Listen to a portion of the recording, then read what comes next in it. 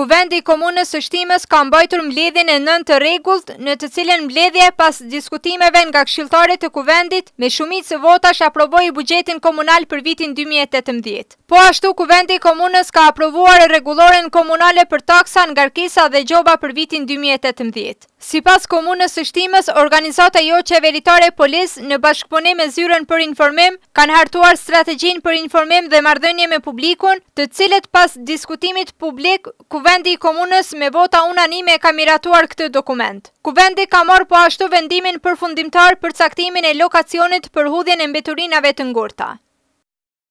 Presidenti i Kosovës, Hashim Thaçi ka theksuar se dialogu me Serbinë e ka pasur efektin dhe i gjithë procesi duhet të përfundojë me njohjen e Kosovës nga shteti i Serbisë. Në një intervistë për RTK-në, Thaçi ka thënë se dialogu me Serbinë ka ndryshuar edhe situatën në pjesën në veri të Kosovës, duke përmendur doganierët në veri, mbajtjen e zgjedhjeve dhe, siç tha ai, ka mbetur integrimi i sistemit të drejtësisë. Është një fazë e re me përmbyllje historike të këtij procesi, pas një konflikti për më shumë se njëqind vjeçar në përmasa gjenocidiale, tha Thaçi. Sipas tij, procesi i dialogut është një proces jo i lehtë dhe i ndjeshëm, por siç tha ai, Kosova do ta realizojë aspiratën e vet si shtet i pavarur dhe sovran. Futja e çështjes së demarkacionit dhe shtyrja e liberalizimit të vizave është padrejtësi shekullore që u është bërë qytetarëve të Kosovës duke i trajtuar si qytetarë të rendit të dytë, ka thënë Thaçi për vënien si kusht të liberalizimit të vizave me demarkacionin. Ai ka kërkuar nga partitë politike dhe bartësit e institucioneve dhe partive politike që të bashkohen për çështjet me rëndësi shtetërore, duke pohuar se duhet të ndahen interesat shtetërore me ato politike, transmeton Kosova.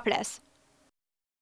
AAK-ja dhe Nisma tashmë kanë konfirmuar se do të ndahen nga PDK-ja në Kuvend, duke e lënë këtë parti si grupin e tretë parlamentar në Kuvend. Meqenëse PDK-ja do të veprojë si grup i vetëm parlamentar në Kuvendin e Kosovës, aty ende nuk është vendosur se kush do të jetë shef i deputetëve. Zenun Pajaziti, që ishte shef i grupit parlamentar të PDK-së në mandatin e kaluar, ka thënë për Koha pikë net, se për këtë mandat ende nuk është vendosur se kush do të jetë shef i grupit parlamentar. Nuk kemi vendos ende, besoj që pas mbledhjes së ardhshme që do të mbahet, do të vendosim kush do të jetë, ka thënë Pajaziti. Koha pikë net ka mësuar se shef i grupit parlamentar të AAK-së do të jetë Ahmet Isufi, i cili është edhe nënkryetar i partisë. Shef i grupit parlamentar të Vetëvendosjes do të jetë Glauk Konjufca, ndërsa i Nismës për Kosovën do të jetë Bilall Sherifi.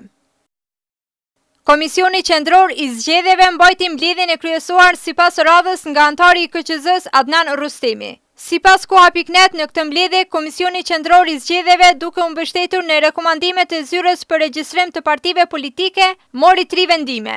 KQZ-ja mori vendim për decertifikimin e pesë kandidatëve nga subjekte të ndryshme politike, pasi këta kandidatë kanë parashtruar në KQZ kërkesën për tërheqje. KQZ mori vendim për certifikimin e gjashtëdhjetë e tre kandidatëve të subjekteve të ndryshme politike, të cilët zëvendësojnë kandidatët e decertifikuar nga KQZ-ja për shkak të aktgjykimeve të plotfuqishme. Dhe, KQZ mori vendim për akreditimin e grupit të parë të vëzhguesve të zgjedhjeve lokale. Numri i përgjithshëm i vëzhguesve të akredituar në kuadër të këtij grupi është tridhjetë. Në mesin e tyre janë edhe vëzhguesit e Bashkimit Evropian. Me këtë rast, anëtarët e KQZ-së u shprehën të kënaqur që edhe këto zgjedhje do të vëzhgohen nga ky mision. Vëzhgimi i zgjedhjeve, u shprehën anëtarët, ndikon në rritjen e besueshmërisë së qytetarëve në procesin zgjedhor.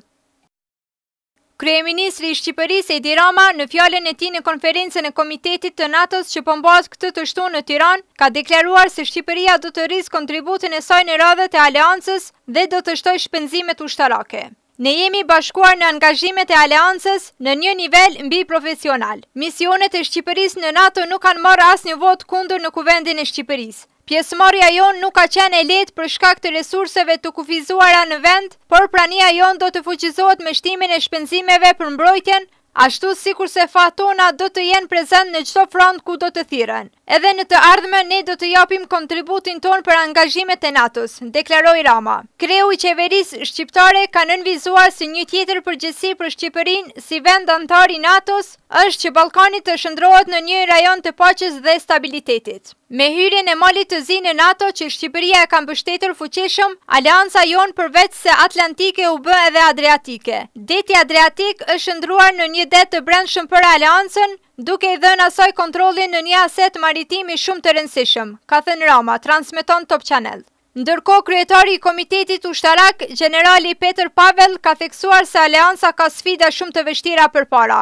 Jemi të sfiduar nga aktorë shtetërorë e joshtetërorë, forca ushtarake, grupe terroriste dhe sulme kibernetike. Përgjegjësia jonë mbetet mbrojtja e territorit dhe e popullsisë sonë, ka thënë Pavel. Gjenerali ka nënvizuar se strategjia mbrojtëse e Aleancës ka konsistuar në mbajtjen e hapur të opsionit të dialogut dhe në përpjekje për stabilitet. Aleanca duhet të jetë në gjendje t'u përgjigjet sfidave të brendshme dhe jashtë kufijve të saj, ka shtuar Pavel.